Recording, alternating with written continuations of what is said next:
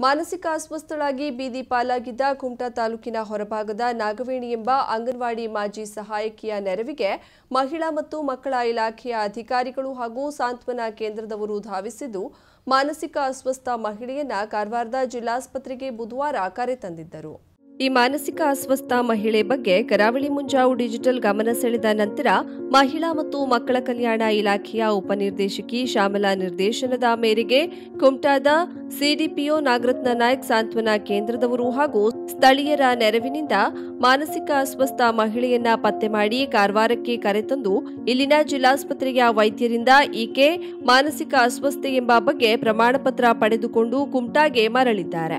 ಕಾರವಾರದ ಜಿಲ್ಲಾಸ್ಪತ್ರೆಗೆ ಮಾನಸಿಕ ಅಸ್ವಸ್ಥ ಮಹಿಳೆಯನ್ನ ಕರೆತಂದ ಸಂದರ್ಭದಲ್ಲಿ ಇಲ್ಲಿನ ವೈದ್ಯರು ತ್ವರಿತವಾಗಿ ಸ್ಪಂದಿಸಿ, ಮಾನಸಿಕ ಅಸ್ವಸ್ಥ ಮಹಿಳೆಯನ್ನ ಪರೀಕ್ಷಿಸಿ, ಅಗತ್ಯ ಪ್ರಮಾಣಪತ್ರ ಒದಗಿಸಿ ನೆರವಾಗಿದ್ದಾರೆ.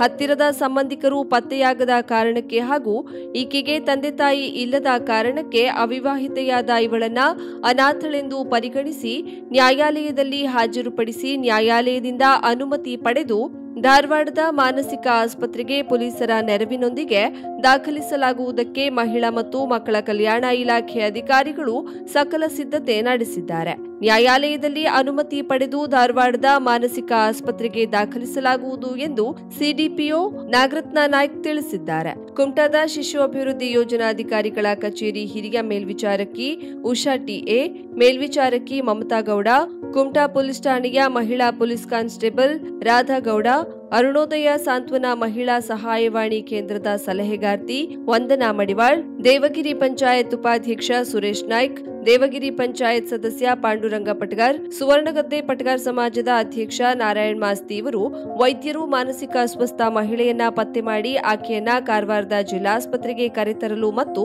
ಎಲ್ಲಾ ರೀತಿಯಿಂದ ಸಹಾಯ ಮಾಡಿದ್ದಾರೆ. ಈಗ ನಮಗೆ ಗೊತ್ತಾದ ಮೇಲೆ ನಮ್ಮ ಮೇಡಮ್ ನಮಗೆ ಇಂಥವ್ರು ಅಂದರೆ ನಾಗವೇಣಿ ಪಟಗಾರ್ ಇಂಥವ್ರು, ಹೊರಭಾಗದವರು ಮೊದಲು ಅಂಗನವಾಡಿ ಹೆಲ್ಪರ್ ಆಗಿ ಕೆಲಸ ಮಾಡಿದವರು, ಮಾನಸಿಕ ಅಸ್ವಸ್ಥೆಯಾಗಿದ್ದಾರೆ.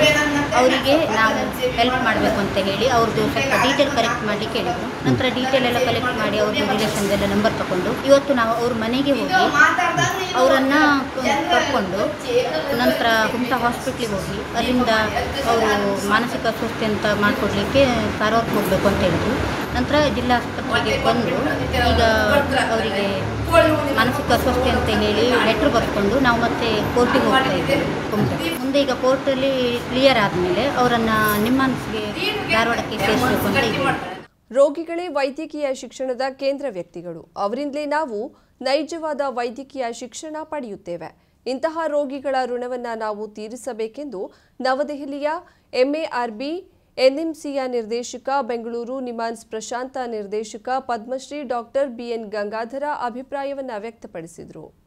ಕಾರವಾರ ವೈದ್ಯಕೀಯ ವಿಜ್ಞಾನಗಳ ಸಂಸ್ಥೆಯ ಅಂತಿಮ ವರ್ಷದ ಎಂಬಿಬಿಎಸ್ ವಿದ್ಯಾರ್ಥಿಗಳ ಘಟಿಕೋತ್ಸವದ ಅಂಗವಾಗಿ ಪದವಿ ಪ್ರದಾನ ಹಾಗೂ ಪ್ರಶಸ್ತಿ ವಿತರಣೆ ಕಾರ್ಯಕ್ರಮದಲ್ಲಿ ಪದವಿ ಪ್ರದಾನ ಮಾಡಿ ಮಾತನಾಡಿದ ಅವರು, ನಿಮಗೆಲ್ಲರಿಗೂ ಎಂಬಿಬಿಎಸ್ ಮೂಲಕ ವೈದ್ಯಕೀಯ ಶಿಕ್ಷಣದ ಬುನಾದಿ ದೊರೆತಿದೆ. ಉನ್ನತ ಶಿಕ್ಷಣದ ಮೂಲಕ ವೈದ್ಯಕೀಯ ಶಿಕ್ಷಣದ ಕೌಶಲ್ಯ ಬೆಳೆಸಿಕೊಂಡು ರೋಗಿಗಳ ಪ್ರಾಣ ಉಳಿಸಲು ಈ ಕೌಶಲ್ಯವನ್ನ ಪಣಕ್ಕೆ ಇಡಿ ಎಂದು ಸಲಹೆ ನೀಡಿದ್ರು. ನಾನೊಬ್ಬ ವೈದ್ಯ ಎನ್ನುವುದಕ್ಕಿಂತ ಪ್ರಾಮಾಣಿಕ ಮಾನವೀಯತೆ ಉಳ್ಳ ವ್ಯಕ್ತಿ ಎಂಬ ಭಾವನೆ ಇದ್ದಾಗ ವೈದ್ಯ ವೃತ್ತಿಗೆ ಶೋಭೆ ತರುತ್ತೀರಿ ಎಂದು ಕಿವಿಮಾತು ಹೇಳಿದ್ರು ನಾವೆಲ್ಲರೂ ಕೇವಲ ಒಂದು ಪರೀಕ್ಷೆ ಪಟ್ಟು ಪಾಸಾಗುವ ಅಷ್ಟೇ ಅಲ್ಲ ನಮಗೆಲ್ಲರಿಗೂ ಬೇಕಾಗಿರತಕ್ಕಂಥ ವೈದ್ಯಕೀಯ ಕೌಶಲ್ಯಗಳನ್ನು ಅವರು ನಮಗೆ ಹೇಳಿದ್ದಾರೆ ಆ ಎಲ್ಲ ನತದೃಷ್ಟ ರೋಗಿಗಳು ಅವರಿಗೆ ನಾವಿಲ್ಲಿ ಚಿಕಿತ್ಸೆ ಪದ್ಧತಿಯಲ್ಲಿ ಅವರನ್ನು ಗುಣಮುಖರಾಗಿ ಮಾಡಿದ್ದೀವಿ ವಾಪಸ್ ಕಳಿಸಿದ್ದೀವಿ ಆ ಎಲ್ಲ ರೋಗಿಗಳು ಇದರಲ್ಲಿ ಮಾತ್ರ ನಮಗೆ ವೈದ್ಯಕೀಯ ಶಿಕ್ಷಣ ಸಿಕ್ಕಿದೆ ಹಾಗಾಗಿ ನಾವೆಲ್ಲರೂ ಅತ್ಯಂತ ಆಭಾರಿಯಾಗಿರಬೇಕಾಗಿರ್ತಕ್ಕಂಥ ಒಬ್ಬ ಕೇಂದ್ರ ವ್ಯಕ್ತಿ ಈ ವೈದ್ಯಕೀಯ ಶಿಕ್ಷಣದಲ್ಲಿ ಅಂತಂದರೆ ರೋಗಿ ಉತ್ತರ ಕೊಡ್ತಾರೆ ಅವರಿಗೆ ಗೊತ್ತು ನೀವು ಯಾರು ವೈದ್ಯರಲ್ಲ ನೀವೆಲ್ಲ ವೈದ್ಯರಿರ್ತಕ್ಕಂಥ ವಿದ್ಯಾರ್ಥಿಗಳು ಅಷ್ಟೇ ಆದರೂ ಸಹ ಮುಂದೆ ಇವರು ನಮ್ಮ ಸಮಾಜಕ್ಕೆ ಬಹಳ ಸಹಾಯಕಾರಿಯಾಗಬಲ್ಲರು ನಮ್ಮ ಮಕ್ಕಳ ಆರೋಗ್ಯವನ್ನು ಕಾಪಾಡೋದಕ್ಕೆ ಇರಬೇಕಾಗಿದೆ ನಮ್ಮ ಸಮಾಜದ ಬಗ್ಗೆ ಯೋಚನೆ ಮಾಡ್ತಾ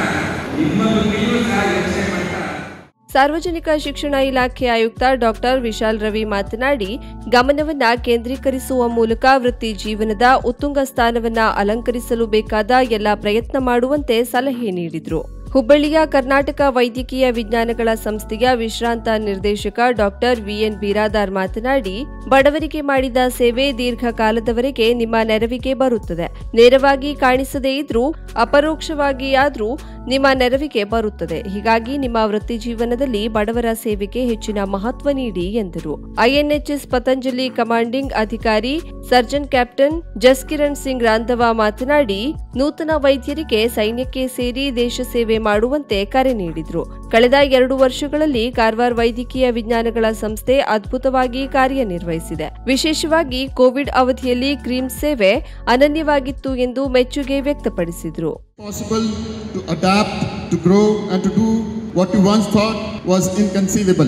Graduates, I know that you have made many sacrifices in order to learn your degrees, but I believe it, is on this occasion to recognize not only your own efforts, but the efforts of those who have supported you on your journey. I have in mind your family members, friends, and teachers, and the Navy would give me an opportunity to command one of the uh, largest naval hospitals. No doubt, the time will come in your own careers when you think back to today and how and are amazed at how far you have traveled and how much you have achieved. ಘಟಿಕೋತ್ಸವ ಕಾರ್ಯಕ್ರಮದಲ್ಲಿ ಪಾಲ್ಗೊಂಡ ಜಿಲ್ಲಾಧಿಕಾರಿ ಮುಲ್ಲೈ ಮುಗಿಲನ್, ಕ್ರೀಮ್ಸ್ನಿಂದ ಪದವಿ ಪಡೆದು ಹೊರಬಂದ ಮೊದಲ batch ನಿಮ್ಮದಾಗಿದ್ದು, creams brand ರೂಪಿಸುವ ಜವಾಬ್ದಾರಿ ನಿಮ್ಮ ಮೇಲಿದೆ ಎಂದರು.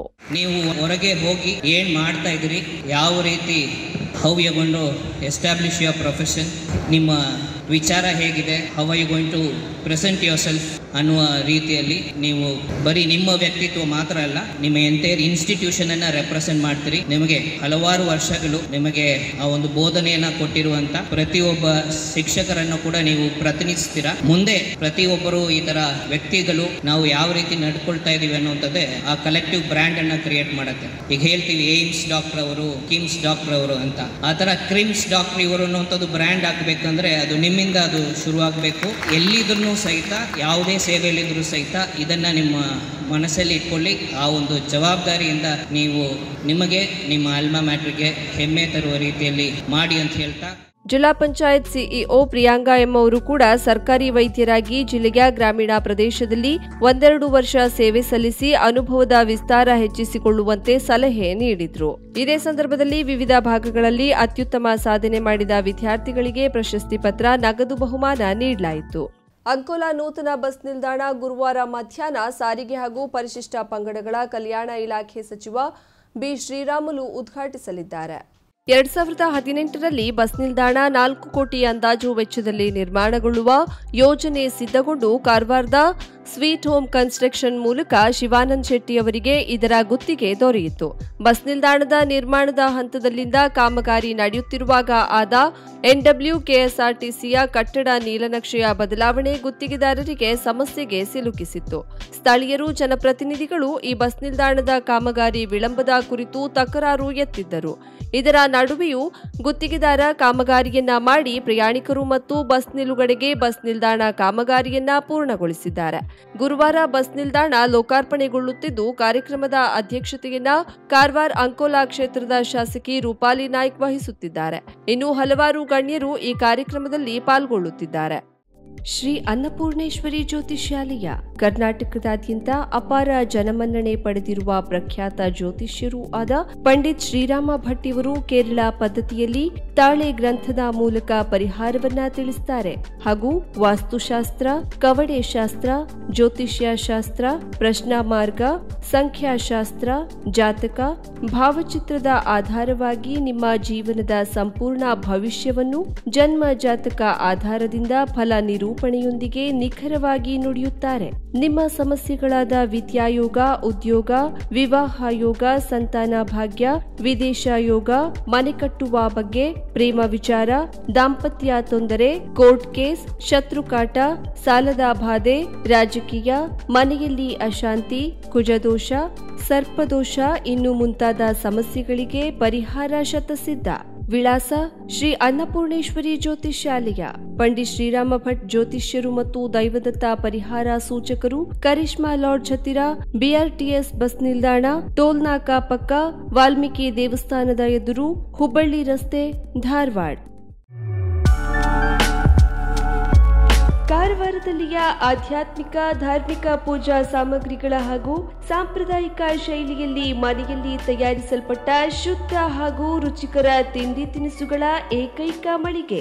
ನಮ್ಮಲ್ಲಿ ಎಲ್ಲಾ ರೀತಿಯ ಪೂಜಾ, ಹೋಮ, ಹವನ, ಮದುವೆ, ಮುಂಜಿ, ಗೃಹ ಪ್ರವೇಶ ಸೇರಿದಂತೆ ಪ್ರತಿಯೊಂದು ಶುಭ ಕಾರ್ಯಕ್ಕೆ ಬೇಕಾದ ಸಾಮಗ್ರಿಗಳು ಲಭ್ಯ. ಬಾಳೆ ಎಲೆ ಬಾಳೆಗಿಡ, ಬಾಳೆಗೊನೆ, ಮಾವಿನ ತೋರಣ, ಐದು ಜಾತಿಯ ಜೋಡು ಹಣ್ಣು ಬೇಲಪತ್ರ, ತುಳಸಿ, ಕರ್ಕಿ, ಬಲಿ ಸೊಪ್ಪು, ಬಾಸಿಂಗ, ಮದುವೆ ಡಿಸೈನ್ ಕಾಯಿ, ಹೂವಿನ ಹಾರ, ಆವಳ ಮಾಲೆ, ಪೂಜಾ ಬಟ್ಟೆ, ಪೂಜಾ ಪಾತ್ರೆ, ಬುಟ್ಟಿ, ಮಡಿಕೆ, ಮಾತೆಗುಳಿ, ಒನಕೆ, ಬೀಸುವ ಕಲ್ಲು, ಹೋಮದ ಕುಂಡ, ಸೆಗಣಿ ಬೆರಣಿ, ಹೋಮದ ಕಟ್ಟಿಗೆ, ನವಗ್ರಹ ಕಟ್ಟಿಗೆ ಶಂಕ ರುದ್ರಾಕ್ಷಿ ಸೇರಿದಂತೆ ಪೂಜಾ ಹವನ ಸಾಮಗ್ರಿಗಳು ಲಭ್ಯ ಇನ್ನು ಆಕಳ ಹಾಲು, ಶುದ್ಧ ತುಪ್ಪ, ಮೋದಕ, ಬೇಸನ್ ಲಾಡು, ಬೂಂದಿ ಲಾಡು, ಹೋಳಿಗೆ, ಕರುಂಜಿ, ಚಕ್ಕುಲಿ, ಅಪ್ಪೆಮಿಡಿ ಉಪ್ಪಿನಕಾಯಿ ಜೇನುತುಪ್ಪ ತೆಳು ಬೆಲ್ಲ, ವಿವಿಧ ತರಹದ ಹಪ್ಪಳ, chutney powder, home made masala powder, ಶುದ್ಧ ಹಳದಿ ಮತ್ತು ಮೆಣಸಿನ ಹುಡಿ, ಸಿರಿಧಾನ್ಯ ಇವೆಲ್ಲವೂ ನಿಮ್ಮ ನರಸಿಂಹ ಮಾರ್ಕೆಟ್ನಲ್ಲಿ ಮಾತ್ರ. ಶುದ್ಧ ಹಾಗೂ ತಾಜಾ ಶೇಂಗಾ ಎಣ್ಣೆಯಲ್ಲಿ ಹಾಗೂ ಊರ ಆಕಳ ತುಪ್ಪದಲ್ಲಿ ಮಾಡಿದ ಶೇವು, ತಿಂಡಿ, ವಿವಿಧ ಬಗೆಯ ಲಾಡು ಹಾಗೂ ಹೋಳಿಗೆಗಳನ್ನ ಪ್ರತಿನಿತ್ಯ ಕೂಡಲೇ ಮಾಡಿಕೊಡಲಾಗುವುದು. ಎಂಬತ್ತೇಳು ವರ್ಷಗಳ ಗ್ರಾಹಕರ ವಿಶ್ವಾಸ ಹೊಂದಿರುವ ನಿಮ್ಮ ನರಸಿಂಹ ಮಾರ್ಕೆಟ್ ಇಡೀ ಭಾರತದಾದ್ಯಂತ ಮನೆ ಮನೆಗೆ ನಿಮ್ಮ ಬೇಡಿಕೆಯ ವಸ್ತುಗಳನ್ನ ಪೂರೈಕೆ ಮಾಡುತ್ತದೆ. ನಿಮ್ಮ ಅಗತ್ಯ ವಸ್ತುಗಳಿಗಾಗಿ ಹಿಂದೆ ಭೇಟಿ ಕೊಡಿ. ನರಸಿಂಹ ಮಾರ್ಕೆಟ್, ಕೆನರಾ ಬ್ಯಾಂಕ್ ಕೆಳಗಡೆ ರಾಯ್ಕರ್ ಮೇನರ್, ಕೈಕಿಣಿ ರೋಡ್, ಕಾರವಾರ್.